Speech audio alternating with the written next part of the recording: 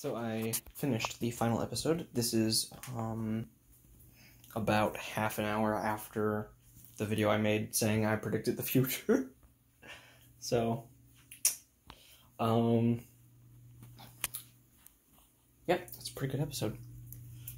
Uh, and at the end, Diggle becomes a Green Lantern. Hopefully, he he opened up a box, and it had a green light in it and the box came from space. Like, just try and tell me that's not a Green Lantern ring. like, actually, actually, just imagine the extended version of the scene. He opens up and he's like, "Why is there a glow in the dark pearl?" Yeet. Stupid space. But no, I want to see Diggle in that Green Lantern show, even if it's only for the first few episodes. I need to get a job before I can pay for HBO Max, though. Unless it's on DC Universe as well. But I doubt it.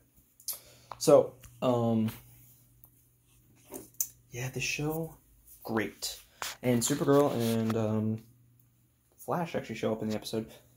I thought this episode was going to be a kind of boring but, you know, poignant episode. This episode was action packed when it needed to be.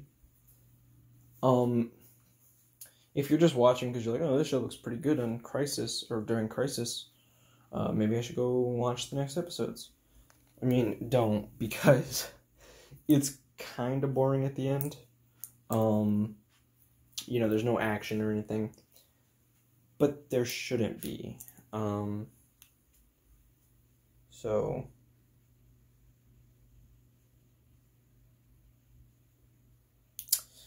Just testing something.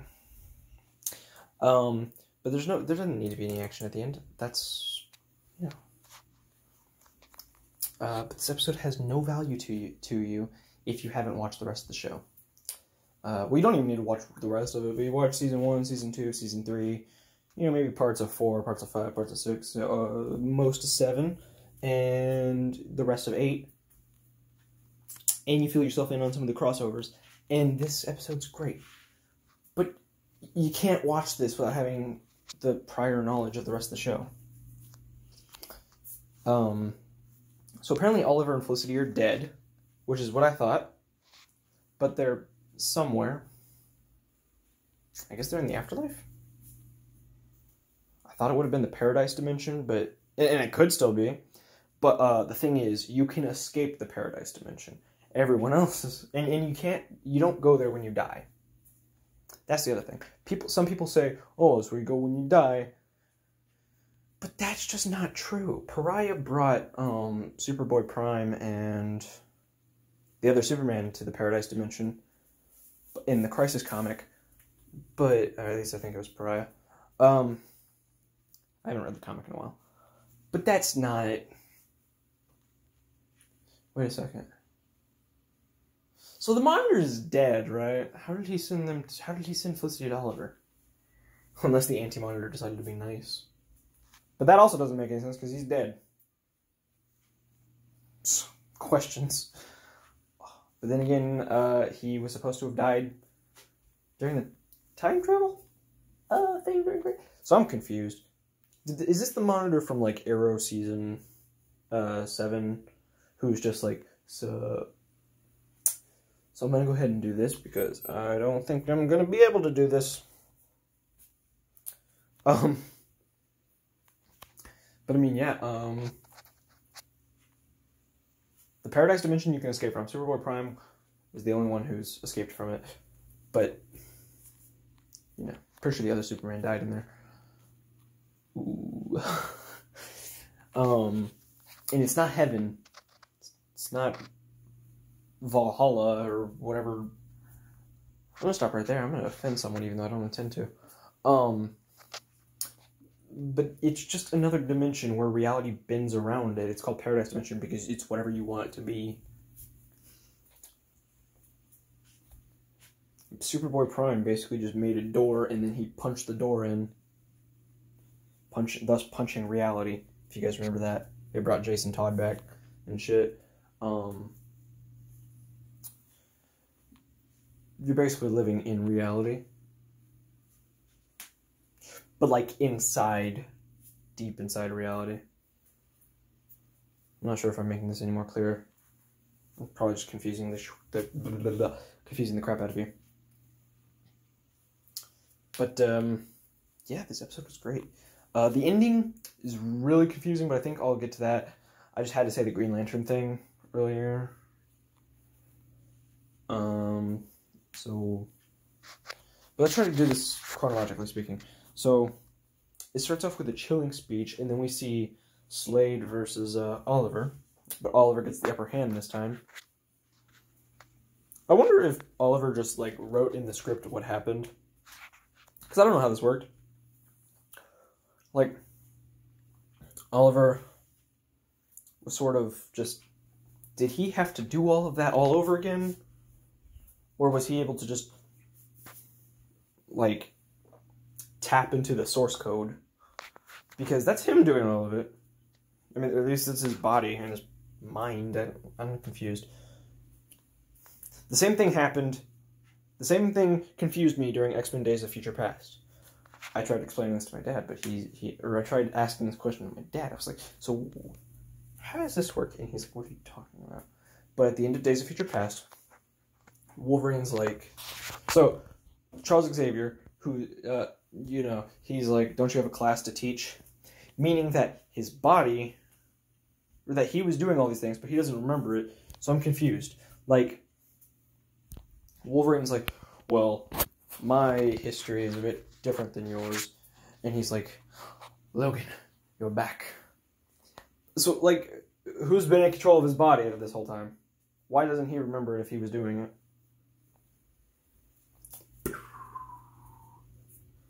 This is the same thing here. Is Oliver, did he beat Deathstroke or did he just change history? Also, I was really hoping for another Slade appearance, but whatever.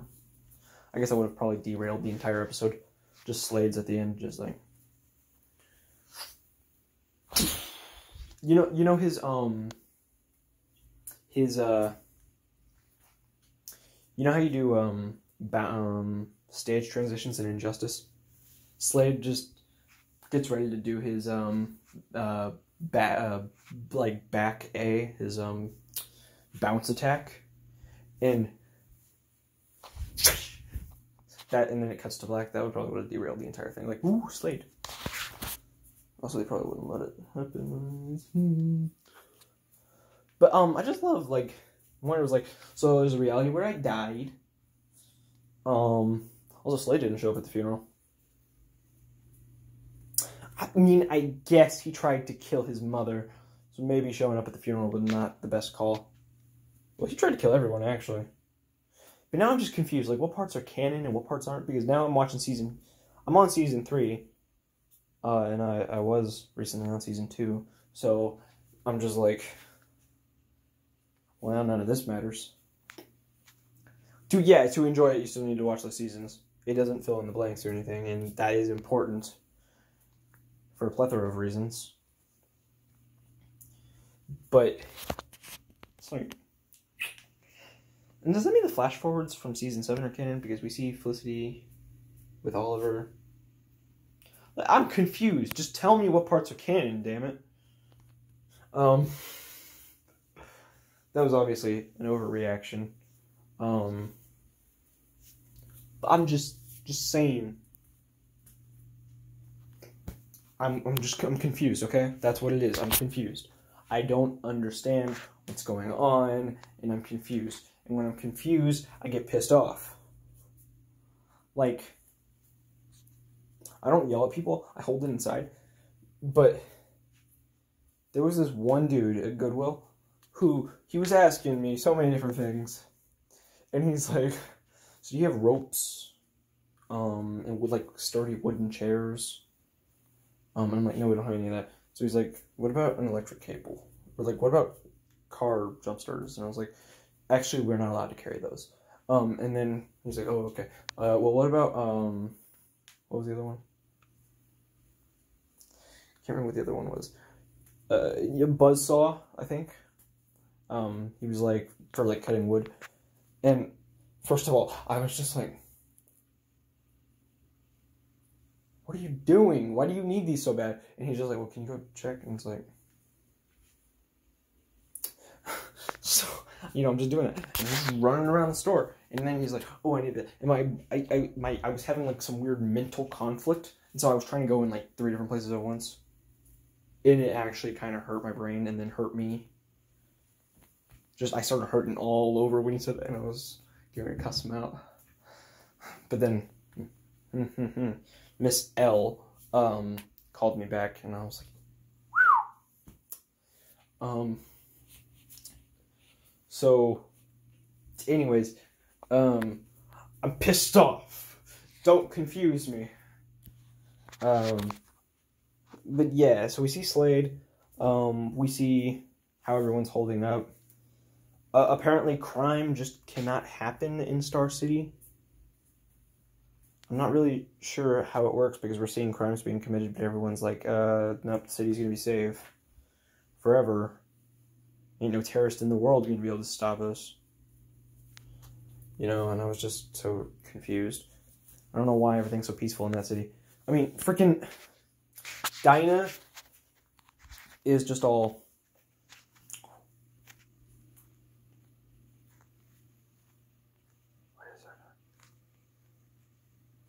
Okay, I have so many more questions, but I can't. I don't have time for them in the video. But Dinah's all like, "Well, I'm moving to Metropolis. I'm gonna go protect that place. Um, no point in trying to protect a city that can't be harmed." And I'm just like, "Why? Why are you so sure of this?" And also in the future, William gets cap- captured. Apparently, like, way to ruin the good moment. You just have to drop a bomb on me like that. I'm so confused, by the way, because Green Arrow and the Canaries chronologically doesn't seem to line up with um, this episode. I have so many questions. She's suddenly reminded of everything, but this is after, and now um, we go back to before, and she already knows everything. I'm just, I'm confused. My mind's trying to wrap itself around around things, and it just can't. My mind was not. I'm good at mental gymnastics, but I'm taking it. My brain is just.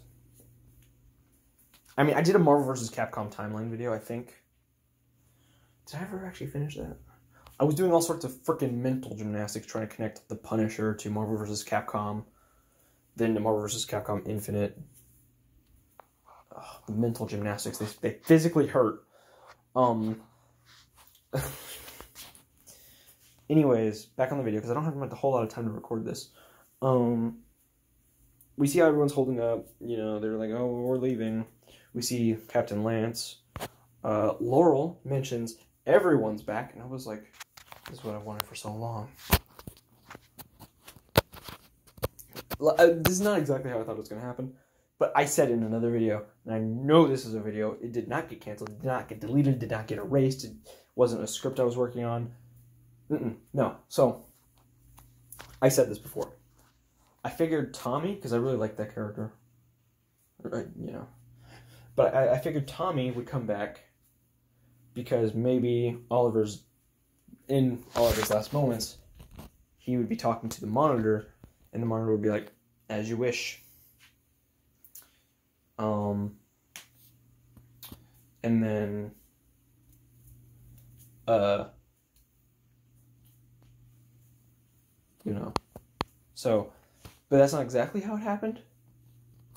It still happened, but now Moira, everyone's back except Moira says um, that Oliver.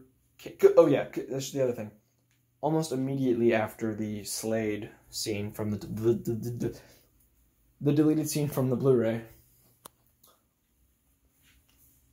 almost immediately after that deleted scene from the Blu-ray, um, we see Robert Queen, and I was like, so what happens here? Does Oliver like tackle him or something? Um, and no, it's the same scene. He he dies. Nothing different. But they didn't. It wasn't like the one we saw during uh, season eight, episode one, where it was a little altered. This is the original scene from season one. And so basically, uh, uh, mm, Moira says at the funeral that perhaps he couldn't change anything that would change him. Which is kind of unfortunate, basically saying, oh, well, Moira's death didn't have a big impact on him. But, you know, I guess it had a, um, a minuscule enough impact.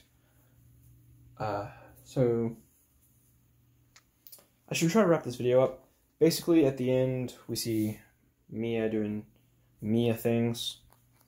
And then, um, we get a few funny lines from Tommy.